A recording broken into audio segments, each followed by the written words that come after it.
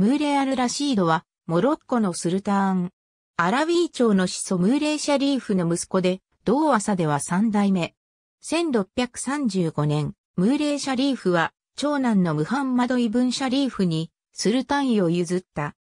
ムーレーシャリーフの死後ムハンマドが、タフィラルとドラーガは、アラウィー朝支配下のサハラ地域を継承したが、兄弟間の構想の末に1664年、ムーレー・アル・ラシードの軍がムハンマドを殺害し、アル・ラシードがスルタンとなった。当初のアル・ラシードの領土や軍隊は弱小であったが、次第に力を伸ばして、タザを制圧し、ついで1666年にフェズに侵攻、北、モロッコを支配していたディーラーイ教団を追放した。モロッコの北海岸を支配下に置いた後、1669年にはマラケシュも征服した。